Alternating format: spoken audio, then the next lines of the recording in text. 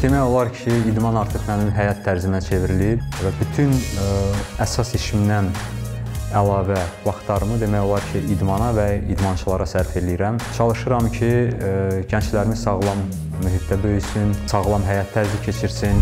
İstedadlı Sanın bu dəfəki qonağı Kung Fu idman növü üzrə 3 qat dünya çempionu Rafiq Xudayevdir. Hər zaman gənclərə dəstək olan idmançı ilə sizi daha yaxından tanış edəcəyik.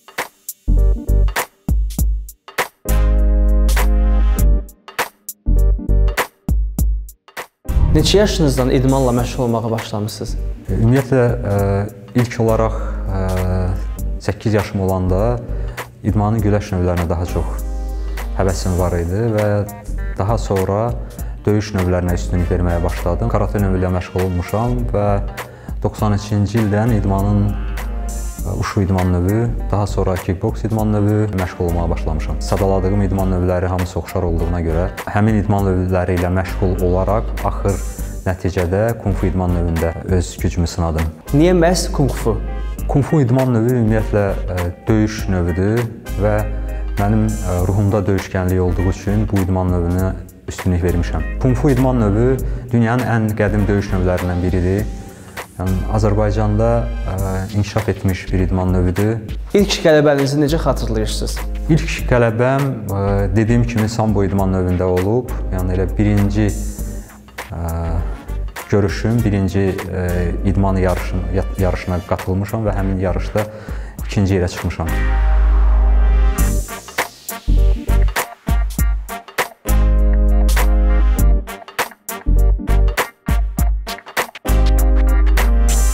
Rafiq Xudayev hazırda məşqçi olaraq fəaliyyət göstərir. O idmanın kung-fu ilə yanaşı kickboks və boks növləri üzrə respublika, Avropa və dünya çempionları yetişdirib. Məşqçi olmaq o qədər də asan deyil. Bu böyük bir məsuliyyətdir. Bunun üçün idmançı kifayət qədər səbirli və iradəli olmalıdır. Əməkdar məşqçi belə deyir.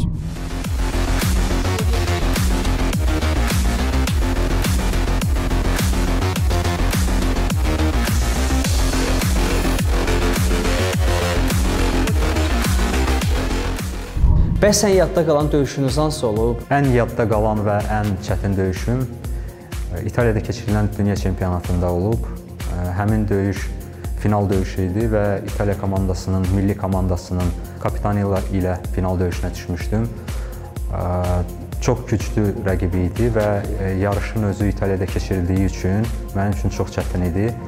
Başa-baş döyüş oldu və əlavə 2 raundda bizi e, işlətdilər və həmin 2 raundun nəticəsinə görə mən qalib gəldim.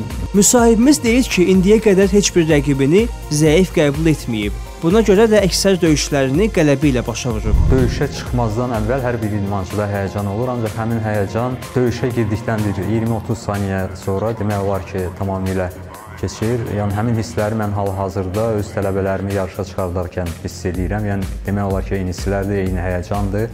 Yəni elə bil ki, mən özüm həmin tələbəmin əvəzinə döyüşürəm. Onu da qeyd edeyim ki, heç bir rəqibi zəif bilmək olmaz. Rəqibin zəif olsa belə, yəni onu güclü rəqib kimi qəbul etməlisən. Müsahibimiz döyüş, güləş idman növlərindən əlavə atçılıq və velosiped sürməklə də məşğul olur. İlk zamanlar sadəcə hobbi kimi baxdığı bu idman sahələri zamanla onu o qədər cəlb etdi ki, artıq bu sahənin peşəkarına çevrilib. Ata olan həvəsim uşaqlıqdan olub. Yəni rayon yerində böyümüşəm və ə, demək olar ki, elə 8-10 yaşından at çapmağa başlamışam. İndi isə sadəcə olaraq bir hobbi xarakteri daşıyır. Yəni mütəmadi olaraq vaxt olduqca at çapmağa gəlirəm. Yəni atlar çox duyğusal heyvanlardır. Atla ə, e, insan arasında hansısa bir ə, e, enerji olmalıdır ki, at həmin insanı tanısın. Ümumiyyətlə insanları ən yaxşı tanıyan heyvanlardandır. Nə vaxtsa olubmu ki, atdan yıxılıb xəsarət almısınız? Atdan yıxılmağa yıxılmışam, ancaq xəsarət almamışam. Uşaq vaxt olub, 14-15 yaşımda yıxılmışam. Ümumiyyətlə, at sürməyə asandır, yoxsa velosiped? Yox, atla velosiped sürməyi müqayisə eləmək mümkün deyil, çünki at sürmək daha çətindir. Yəni seçim qarşısında olsam, yəni at sürməyə üstünlük verərəm, nəinki velosiped sürməyə.